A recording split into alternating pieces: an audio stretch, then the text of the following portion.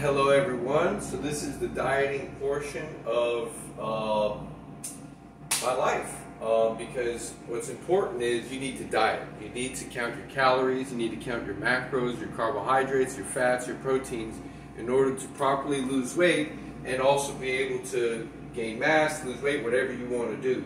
So I'm at about 1600 calories today. I'm trying to lose weight. I want to lose some weight off my stomach more specifically. Uh, so what I'm eating today is I have a sweet potato in my oven for about one hour. Pop some holes in there. Okay, that's my carbs. And I also have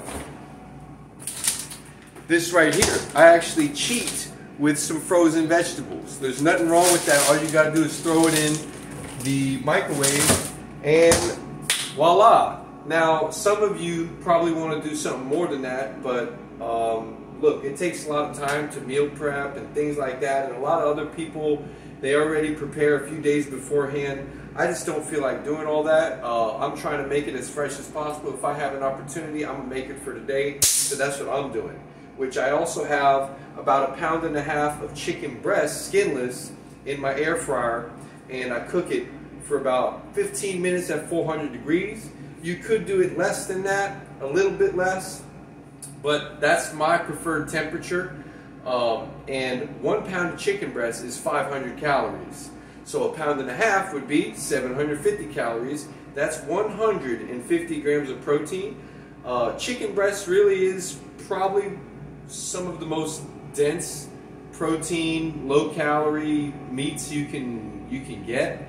Uh, I love steak, but the only issue with steaks is steaks, uh, they're just high in calories, man, and it just doesn't have the same yield protein per ounce wise sometimes.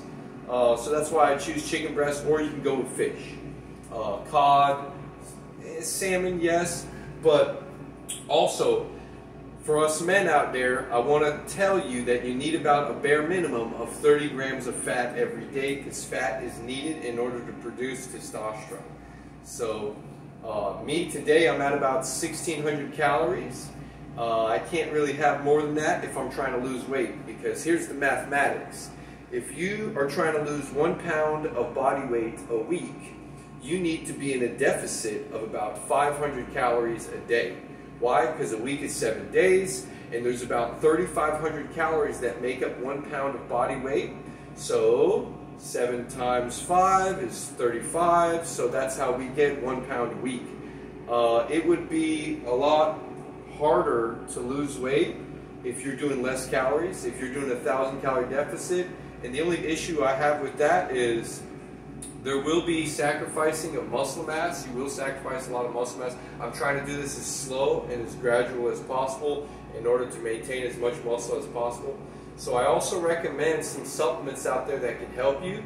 HMB is a very important supplement that can actually help you retain muscle mass while you're maybe doing a fast or you're doing a lot of cardio because cardio can also deplete muscle mass. It'll put you in a catabolic state, and we don't want that as much as possible. So, thank you.